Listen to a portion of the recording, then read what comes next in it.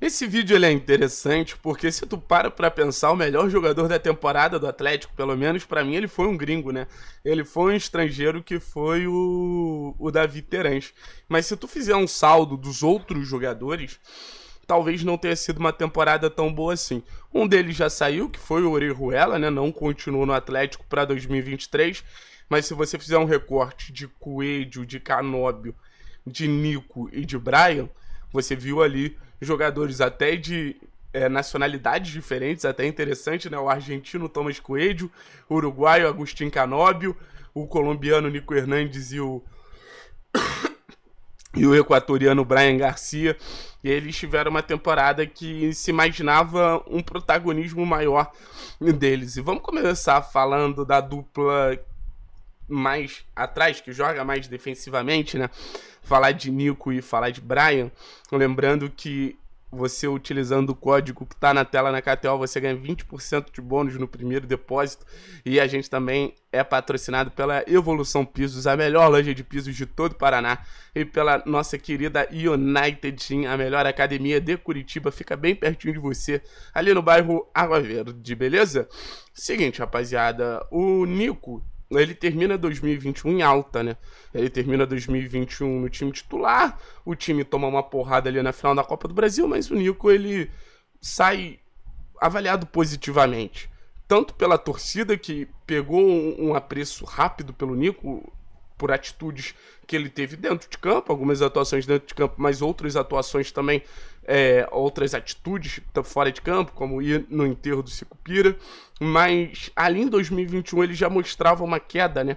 Um jogador que tem muitas dificuldades em embates físicos.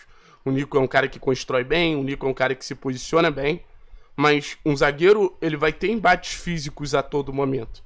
E se tem um jogador que não se dá bem nesse sentido, ele vai acabar deixando a desejar em vários pontos.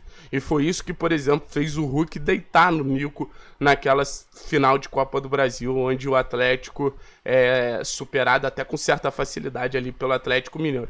Começa a temporada machucado e a gente vê que o Nico ele não consegue repetir o nível de atuações que ele teve em 2021. Quando ele retorna, ele até retorna muito bem, mas depois ele volta a sentir mais essa parte física e não consegue ter um, uma sequência mais equilibrada de atuações mais constantes. Mas assim, teve um momento ali da temporada, principalmente quando o Thiago ainda estava machucado e o Nico retorna, que ele vai bem, assim.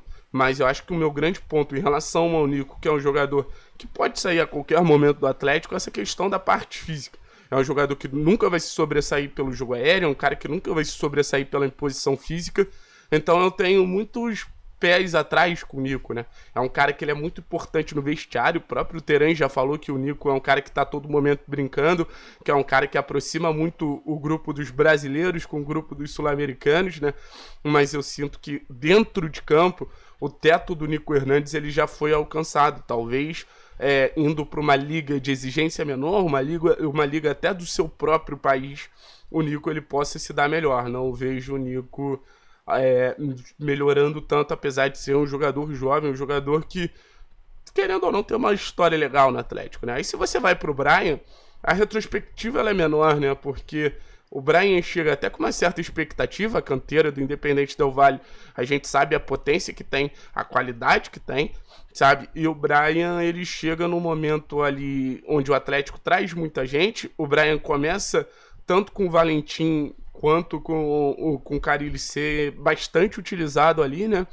E, e, de repente ele para. Eu, assim, sempre tive uma boa avaliação do Brian. Alguns jogos abaixo, outros jogos melhor.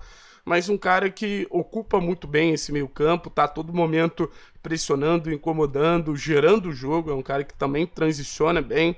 Sabe, eu tenho uma expectativa boa para o Brian em 2023. Acho que pode ser sim um jogador que esteja mais presente no time do Paulo Turra do que esteve no time do Filipão, né? Ainda mais se a expectativa do se a expectativa se é, se, se consolidar ali do Atlético, jogar com três volantes, o Brian, eu acho que é uma boa opção. Um jogador jovem, um jogador muito bem avaliado internamente no clube, né?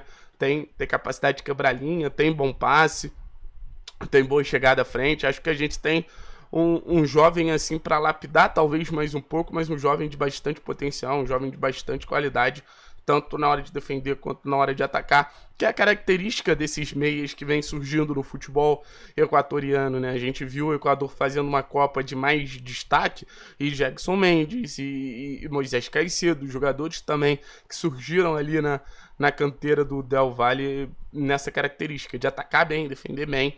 E agora você vai para os dois de frente, né? Jogadores que chegaram até em um certo momento para serem titulares, jogadores que chegaram com muita expectativa, chegaram como a maior contratação da história do clube. Primeiro o Coelho, depois o Canóbio acaba superando. E o Coelho ele foi o melhor ponta do Atlético na temporada. Eu acho que foi é, assim, o cara que mais ofereceu perigo, né? Já que foi o cara que mais participou de gol, já que foi o cara que mais é, criou chance, já que foi o cara que é, acertou mais passe. Então é um jogador com boa capacidade de diálogo, é um ponta mais construtor, né?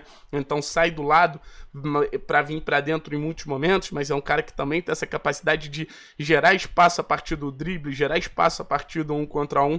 Então acho que o grande ponto do Coelho é estar mais em campo. Estando em campo, eu acho que ele contribui contribui muito. Não sei se o, o Filipão ele via no Coelho um cara para ser esse escape dele, né? Eu acho que esse foi o grande diferencial do Vitinho em relação ao Coelho. Um jogador mais agudo, um jogador de buscar mais o fundo, um jogador de buscar mais um contra um, mas o Coelho ele oferecia uma capacidade técnica de ficar um pouquinho mais com a bola, valorizar o passe, fazer com que a bola ficasse um pouco com o nosso time e assim, eu avalio muito positivamente a primeira temporada do Coelho. Poderia ser melhor? Acho que até poderia, tá? Acho que a gente viu um Coelho que poderia ter entregue, é, entregado mais sim. Não, não acho um absurdo falar que ele poderia ter entregado mais, não. Mas levando em consideração a adaptação, mudança de cidade, mudança de clube, eu acho que foi uma boa temporada assim do Coelho se tivesse mais em campo, acho que teria números melhores, mas foram quase 10 participações em gol se você somar Vitinho e, e acho que não chega nesse número. E o Canobi foi a grande decepção da temporada para mim. Eu tô aqui basicamente para pedir calma em relação ao Canobi. Acho que é um cara que merece paciência, acho que é um cara que merece que a gente tenha um pouquinho mais de, de cuidado para fazer qualquer avaliação, para ter qualquer certeza em relação ao Canóbio, um jogador que chegou vindo do melhor momento da sua carreira, né, como melhor jogador do futebol uruguaio, mas mostrou alguns problemas técnicos consideráveis, mostrou uma dificuldade muito grande de tomada de decisão, alguns fundamentos ali que se esperava que ele já dominasse. Então foi uma temporada abaixo, alguns pontos fora da curva, algumas atuações melhores.